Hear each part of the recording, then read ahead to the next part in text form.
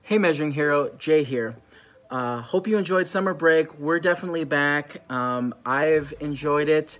Uh, I'm actually back here uh, at my office here in Oberkochen, and there's no one here. So, uh, what we thought we would do is reach out to one of our aerospace colleagues uh, to talk uh, to us about aerospace blades. so, Tim, thanks for joining us. Appreciate it. Thanks for having me, Jay. how are you? Of course, I'm doing well. Uh, first of all, Tim, where the heck are you? I'm in Oakville, Ontario at uh, Elliott Matsuura, which is the, the Zeiss product distributor for Canada. Cool, cool. Well, thanks, Tim, for joining us. Thanks to Elliott for uh, giving us the time and space to use their facility to, uh, to film this uh, and to have this discussion. All right, I'm just going to launch into it because I've been thinking about this all summer before we went on break, I spoke to Mark uh, in Maple Grove, and he blew my mind about measuring airfoil blades. Right? He showed me right. this blade uh, on a CMM with a VAST uh, probe system, and he was literally locating parts using the VAST probe, uh, uh, locating positions on the VAST probe. Um, you know, by touching it, and it, it, it was cool because it was just a free form blade, right? And right. Um, this summer, uh, I nerded out and kept reading about some of these blades, and I read that um, some of these have these special coatings, and these coatings you can't touch it. So the thing I've wanted to ask all summer is, what do you do if you can't touch the blade? And so I'm going to ask you directly, Tim, what do you do if you can't touch the blade? Yeah, so we've got a pretty neat solution. If you can't touch the blade, but you're, you're trying to get the same dimensions that, that Mark was measuring before, which of course was, was on a tactile CMM, we've got a sensor called the DotScan, which is a, a white, white light uh, laser, which comes down, measures the part.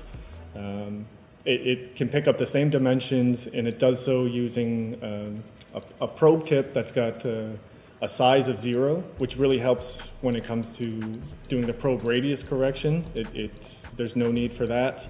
It's also in, in most cases you can scan faster than the tactile CMM, so so you can add some efficiency to your measurement, do it quicker than you could before, and, and still maintain the same reliability.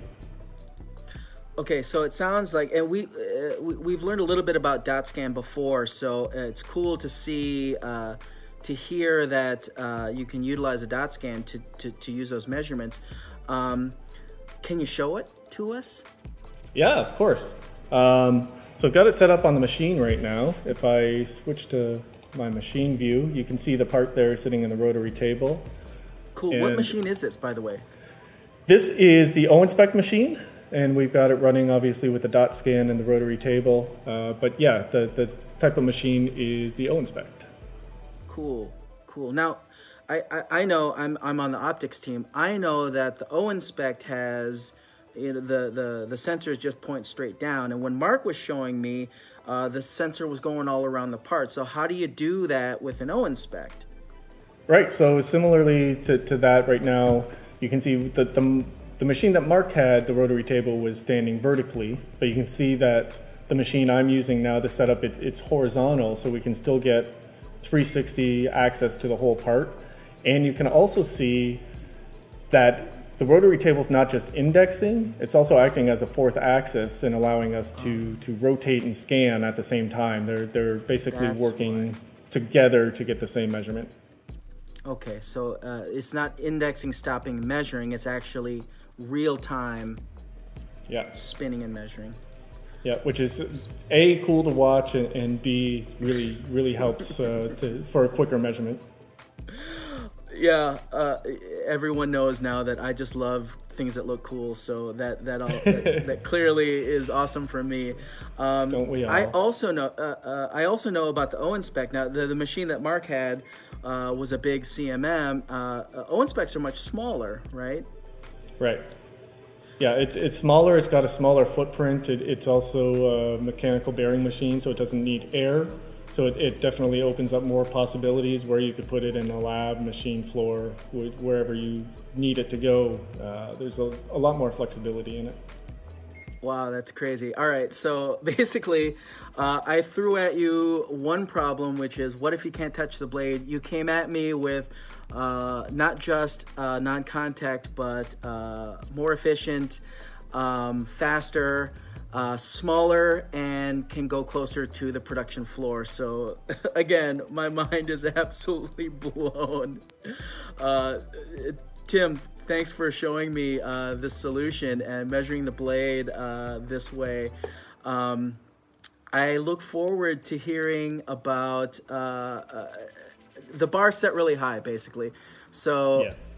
I hope that you have a colleague somewhere that can blow my mind uh, even more. But until then, uh, thanks for joining us, man. I appreciate it.